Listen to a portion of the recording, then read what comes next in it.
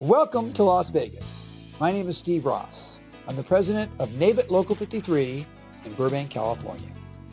The industry is rapidly changing. What we once did with racks and racks of equipment, we are now able to achieve with computers and software.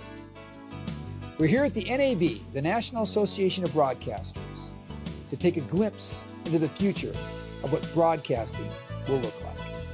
Okay, very good. Okay, we're here over at the NAB and we're at the South Hall right now. And we're going to start going in and uh, seeing some exhibits. We've got our badges, our badge holders. This is Scott Murray Hi. from NBC, Miranda. we love you. A Belden company, right? A Belden brand. A Belden brand company. Very good. Okay. Anyway, so if you could just describe to us some of the products that are now being offered this year in 2013 uh, by Miranda and, and updates to anything else that we might have uh, at NBC's facilities. Well, one of our flagship product introductions this year is the Kaleido MX. We're the company that invented the multiviewer. We are now introducing a brand new version of the multiviewer called the Kaleido MX, which you can see in multiple different pods here on the floor. And the value proposition is that this is, people know and love the Kaleido X. It is the gold standard of multiviewers in the market. You're Mo, I'm Joe. So, uh, welcome Evertz. Uh, we're a manufacturer of uh, broadcast equipment. We deliver content from end to end, so from the RF dish antenna all the way through the facility and right back out to the handsets or the mul- multiple tablets, uh, television station, television sets. Um, what we're hi- highlighting a couple, uh, couple new technologies this year are a 4K. How do we handle 4K? That's the upcoming technology. Uh, some of the key products that we've got now are our 4K replay system, which is Dreamcatcher. Um, the other is using our existing routing core to be able to support the multiple 3 gig signals that comprise the 4K and can carry that through an existing facility. So we have a number of different devices that allows us to do that, as well as our Magnum control system that eases the management of that to a single button press on either side.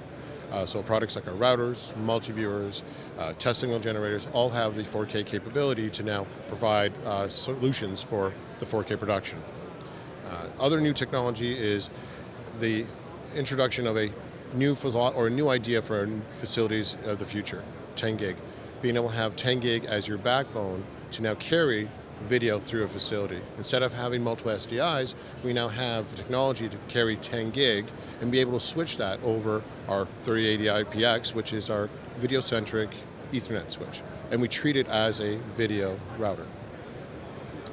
Um, some of the other technologies are our playout solutions, so our integrated playout solutions, which we have a content management system and uh, storage as well as integrated playout that allows you to do sort of the channel in the box with full automation content management with full branding and et cetera, et cetera. So. Well, thank you very much. I re- really appreciate all the information. Hi, everybody. I'm Joe Ayala with NABET Local 53. I'm here at NAB 2013. I'm going to be walking around and getting some sound bites, shooting some good video uh, of the different exhibits, especially in relation to how they pertain to our workforce. Uh, we've got uh, automation coming in in most of our locations now, uh, and new technologies that are coming over and growing, and we want to make sure that everybody's informed about what's going on. So follow me through the exhibits, and hopefully we'll get some good information for everybody. I'm Stan Moote with Harris Broadcast. I'd like to tell you a little bit about what we do at Harris Broadcast.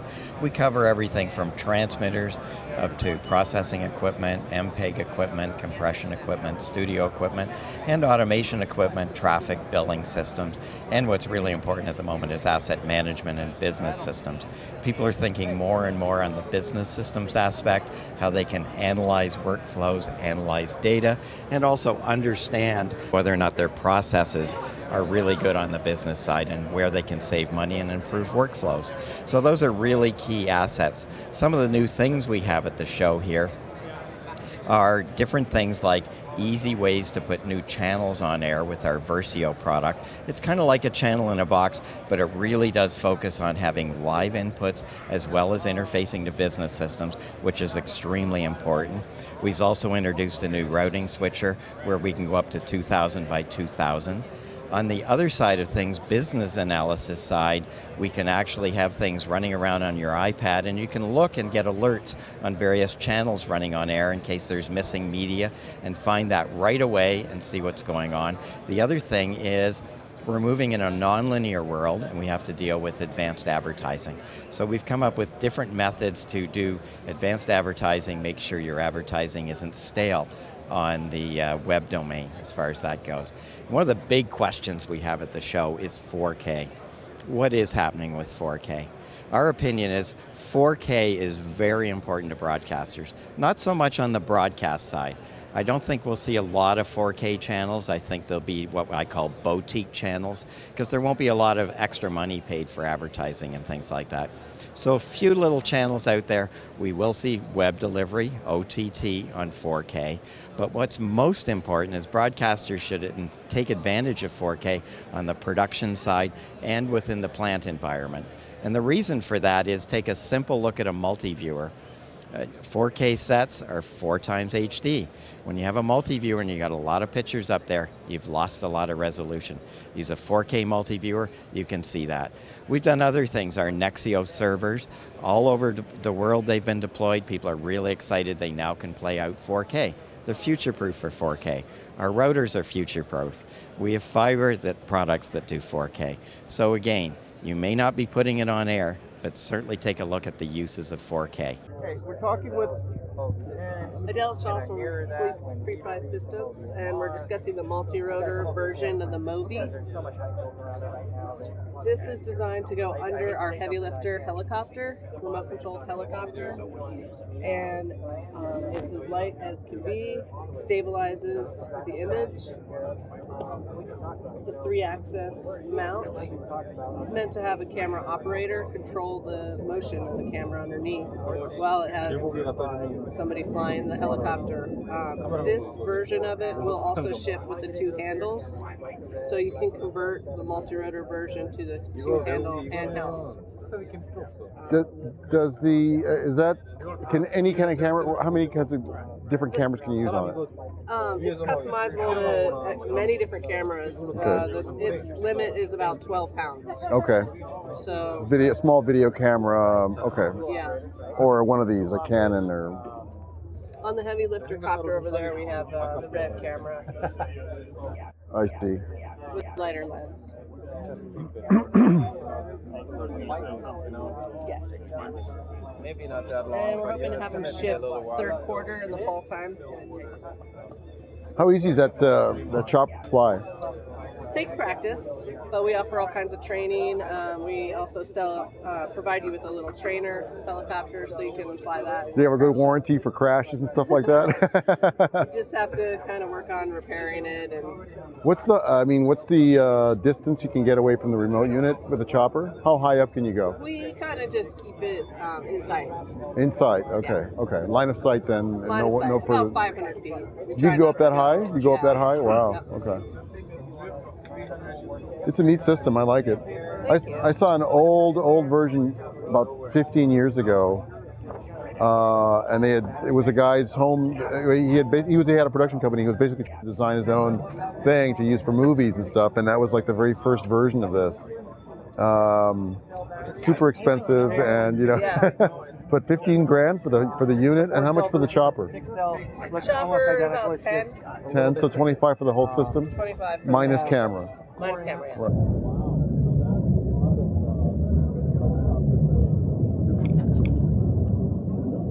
My name is Lisa Kassner. I'm with NABET CWA Local 53, and I'm out here shooting video for our website.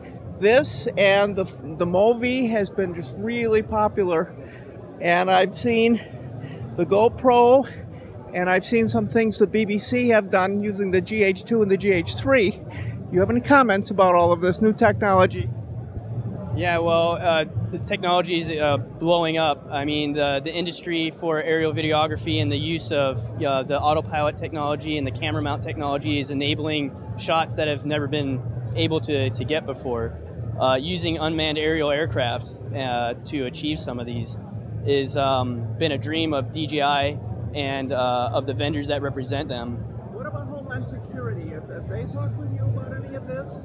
Uh, Homeland Security. Um, on a, on a personal level, yes, I have actually spoken with Homeland Security. Uh, we've actually done some demos and worked with them before, uh, basically trying to educate them on the product and its uses, um, trying to kind of alleviate the whole sort of privacy and drone stigma that's kind of been building up in the media around the use of these um, devices, and really trying to shed some light on actually the positive uses that these things can can go out and perform, such as like lidar work or hyperspectrum camera photography or um, all kinds of different aspects that may haven't even been thought up of yet, and really trying to get you know support from the public and everybody to you know open up people's minds and you know spawn innovation is really what DJI is is all about. The Phantom's capable of about a 15 minute flight and it's all ready to fly out of the box for about $700. Yeah, all kinds of different uh, um, universities. I mean, there's all kinds of different small projects that are being done all over the place that, you know, um, forestry departments are looking at the tops of tree canopies and things like that. Um, you're able to get into places less invasively and extract data. Um, it's even interesting, animals don't even know how to react to these machines quite. So they act more natural around the machine than when man's present around there. And so you're able to get a much better idea of how things are happening around us with, uh, with some insight without actually having to tread into their territory in there. Well, the technology uh, was basically spawned, uh, you know, 10 years ago, uh, and it was uh, due to Frank and, and Swift uh, engineering the algorithms needed to basically be the brains of how to make a machine like that stay stable and fly and move through space with simple human interface. What's the range on some of these?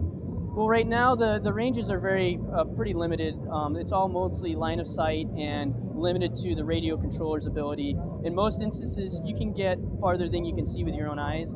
Um, but for most aspects, in the way that I've been deploying and using the equipment, it's uh, everything's really close proximity.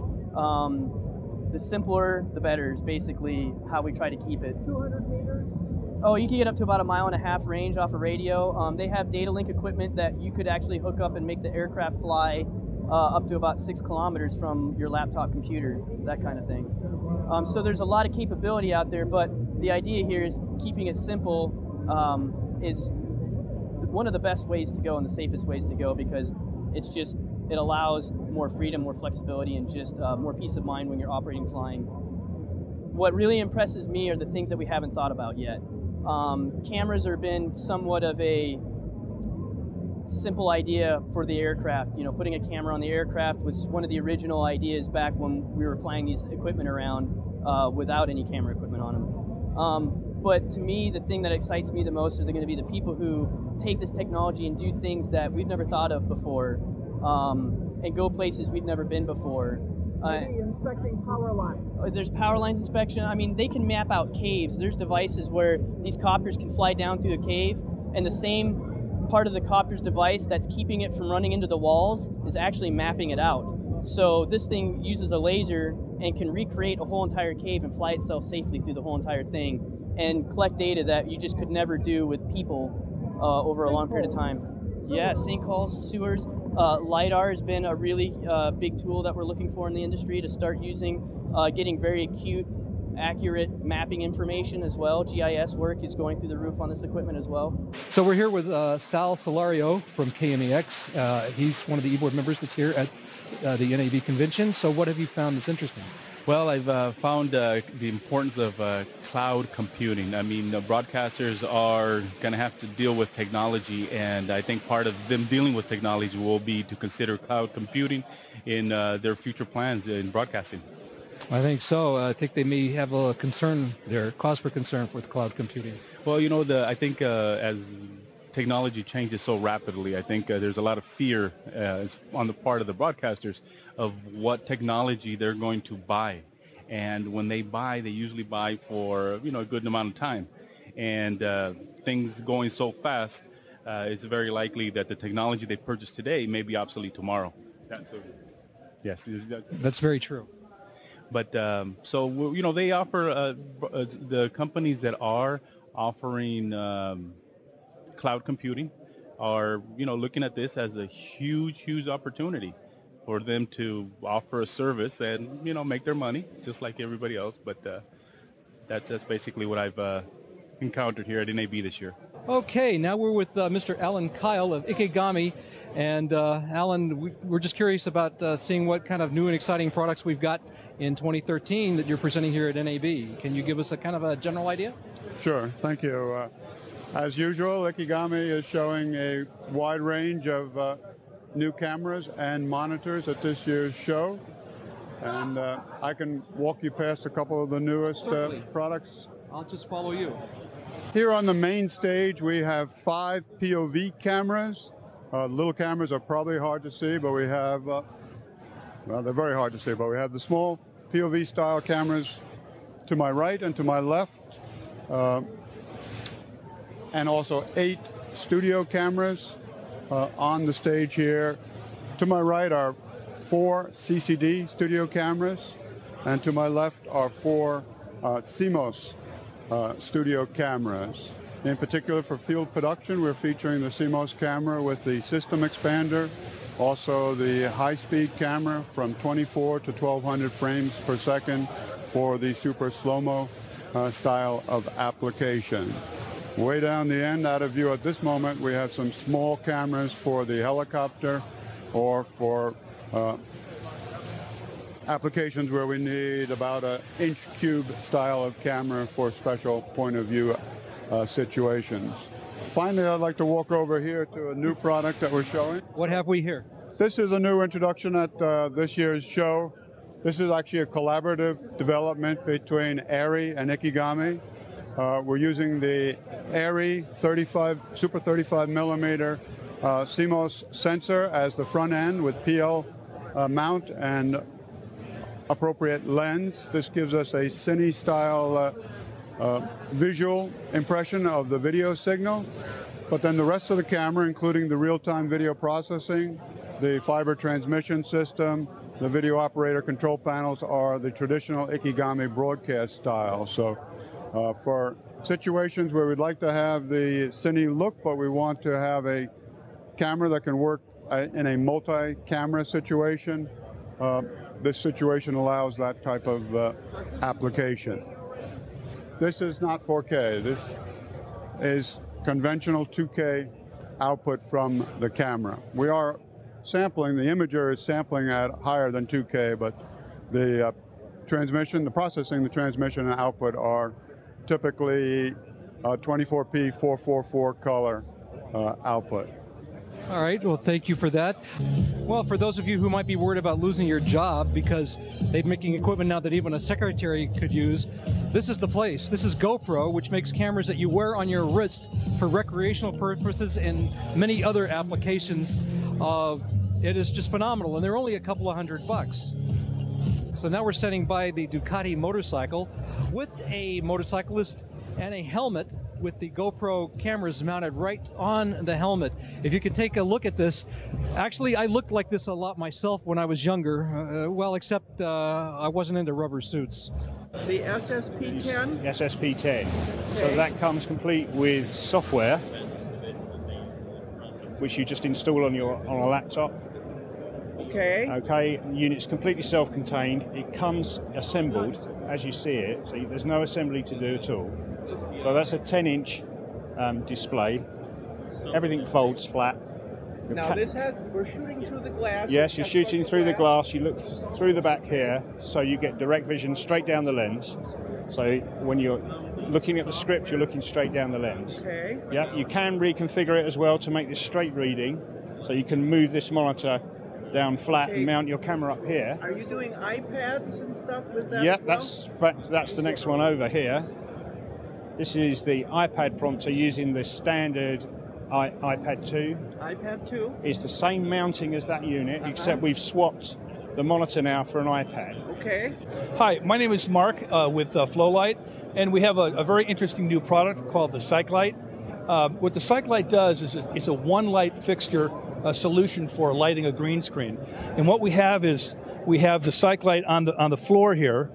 You can actually place that within a foot or so of the of the wall, and it will perfectly light that green screen about 10 feet wide by about 10 feet tall. And as you go further up the screen, you can see that you have a perfectly lit screen from top to bottom. Now, one of the key things about the Cyclite that makes it different than lighting with any other kind of standard lights is that you can see how saturated and green that light, that uh, that key is.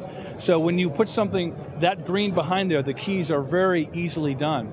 Um, you can also in, in certain cases, you can take that uh, that uh, Cyclite and put it against a white wall. So you don't even need to have a green screen. It will actually be able to key off of a regular white wall. That, that's going to be somewhere between $1,000 and $1,200 when it comes out. And it'll be co- coming out probably in the next uh, three months or so in shipping. And then we, to, to show you, we have, we have a model of it here. And the, uh, the Cyclite uses what we call light wave technology. We have three high power 40 watt green LEDs that shine into this uh, acrylic light wave. So what happens when the light goes into the top, it's going to shine into this light wave, and the first surface it hits is that top one, which shines the brightest light because it's closest to the LED up straight. And then as it goes down, the light falls off naturally to go uh, less, less, less, and then all the way down to the very bottom of it, down to the floor. So uh, we have three of these individual modules that will give you about a 10 foot wide by about a 10 foot tall, um, perfectly lit green screen. That this draws about 120 watts. So what, what we have here is we have uh, a man in a studio with, with just a, a, very light gray or TV white background. The Cyclite's underneath the chair, and you see it's lighting up that whole green wall and giving you a perfect key. Now we're taking that directly out without, without any manipulation, and you can see you've got the perfect key on a white wall. I've, I've done a lot of corporate stuff, and I'll go in somewhere and they say, "Oh, I want to do a green screen," but the guy's only a foot and a half from the wall. Uh-huh. I put the Cyclite underneath the chair, and we have it will light that green screen perfectly. So um, you'll see here how close it is to the wall. You get this perfect green screen from the bottom all the way up to the top. And in a minute, we'll have we'll show you the final result. And that's what we have. Okay, the green screen. There's the key. And there's the key. Wow. Mm-hmm. You can see more information. You can see the video by going to flolight.com. That's F L O L I G H T.com. Uh, we sell through all of the major resellers like B&H Photo, Amazon, Markertek, Adorama, all of those folks, as well as your local uh, video dealers. Hi, my name is Lisa Kassner. I'm here talking with Gard Cookson from Bella Keyboards. He also runs a business called Post-Op Video in Burbank. We have our Pro Series keyboards. It's the only one with the built-in jog shuttle controller. So we have the uh, inner wheel is the jog, and the outer ring is the shuttle controller. And uh, obviously, it's got all the shortcuts for whatever application you'd like. So we've got them for Premiere, for Avid, uh, for Sony Vegas. Um, Final Cut? Um, and for Final Cut Pro X, of course. It has a built in light. Um, so, in case you're in one of those dark editing rooms, uh, it has two USB 2.0 ports on the back, and right now we've got plugged in our little uh, adapter for our HD mouse, which is actually over here. So uh, this is our little wireless mouse. Um, we also have our um, Advantage series keyboards, and the Advantage series is more economical. It doesn't have the built-in jog shuttle controller. Um, so it's the same keyboard without the... It's a similar keyboard. It's a little bit smaller, a little bit more compact, um, still a good rugged design, um, and uh, you know just more economical the Killer Keys Pro application, uh, Killer Keys Express, and Killer Keys VR. And Killer Keys Pro is kind of the, the top dog of the applications. Killer Keys Pro resides on the desktop and then it can communicate with the iPad app uh, using Wi-Fi, and the the iPad application allows you gives all sorts of um, functionality. So we've got a built-in um, keyboard, and actually maybe it's probably easier for me to show you some of the features here up close. So we have a built-in trackpad, so you can you really can completely remotely control your computer here. We've got built-in trackpad, multimedia controller, uh, quick quick launch applications over here. So whatever is installed on your computer, you can add to your quick quick launch section. We have our application uh, active application switcher. So if I switch over to Premiere Pro, you'll notice that then we'll switch over and all the shortcuts for Premiere Pro will show up here. Now this is in a standard keyboard layout, you'll notice, but so I can, you can edit with this iPad and the killer keys? Absolutely. I'm controlling this through the iPad as I'm uh, playing and pausing here. I've got uh, frame by frame control with my jog wheel. So I'm jogging back and forth. Um, so this is our little multimedia controller widget. And uh, So now this is in a, a standard keyboard layout. Looks very familiar. Now I can position this actually anywhere I want. So I can pull, pull this down to the bottom of the screen, or I can actually just get rid of it. And now, right now we're running on an iPad 3, but it's also compatible on an iPad 2. Again, we're automatically switching based upon what, what application is running. So as I switch from uh, Premiere Pro to Photoshop, you're going to notice that now here, these keys are going to show up, and these are for Photoshop. And we've got workspaces, so I can scroll between workspaces. And here, these keys are just your shortcut keys that I've dragged out onto my workspace. I can name the workspace as anything that I that I'd like. I created one that's called Effects here, just for fun. Um, we get to uh, look at extra information on a key by just clicking on the little plus, if I can actually hit that. And we get to see the keystroke. We have a lot of configurability here. I can actually go in here, change the key look if I want. Let's say I can change the background, um, let's say to a parchment look. So now you'll see I put a parchment here. I did kind of these more 3D looking buttons. So now I'm going to go back to my settings. And also we have widgets here. So I can take away and move widgets out of here. And let's say that I wanted to put the number pad here. So, now I've got a number pad. Any way I want. Yeah, and what's even cooler is let's go into here and get get these guys back in here. So now I can actually go in and turn off widgets completely. So I hit done and now I've got an entire screen of just my shortcuts. So I can use this as kind of a control surface. I can take these keys, move them in any order that I want. I can swipe to new workspaces if I'd like. Okay. Um, I can turn off the little plus buttons on here to make it a little cleaner. Notice that the pluses went away. I'll turn it back on so you can see the difference. All right, so then we'll go ahead and we'll turn our widgets back on again. We're very excited about this. It's got a lot of functionality. We've got over uh, 100 applications built in, over 30,000 shortcuts. Ken Williamson back here again, and we're talking with David Palmer of Mainstream uh, Streaming Network. So, for some of you people like me who've just retired and whose passion might be a combination of radio and music, this might be a way to uh, turn a passion of yours into a hobby. I'm sure it's not for everyone, but I'm curious about it. So here he is. So, David, if you could tell us a little bit about what you guys do. Well, sure. Well, what Mainstream Network does is we provide streaming services for radio stations and individuals who want to start their own internet only radio station. We provide them with the technology so that they send us the signal and we give them a URL that they place on their website. So when people click on it, it opens a player box so people can listen to them literally anywhere in the world. As long as they've got an IP connection, they can listen to their station. We also provide the technology so that on that player box, that that can be used for sales, generating revenue, and so on for the internet radio stations. And then we also provide iPhone apps so that people can listen to those same stations on their iPhones or mobile devices. Sounds very good. I like that idea. Being able to, uh, if you're going somewhere in the car and you like that particular radio station, you can listen to it through your radio, car radio. Well, the, the great thing is, if you look at the newest technology that is coming out, Mercedes Benz, Cadillac, GMC, all of their stock radios now have a little button on it that says web. And what that is going to be used for is so web ready radio is going to be installed in cars. You just put in the URL of the station you want to listen to, and it connects to it. So you literally can listen to the same station going from one end of the country to the other, and it's all IP based. So if you have an internet radio station, it can be listened to in the car, it can be listened to on Apple TV, it can be listened to on a Roku. If, if you're in a car, how easy would it be to enter that URL address uh, so you can listen to it?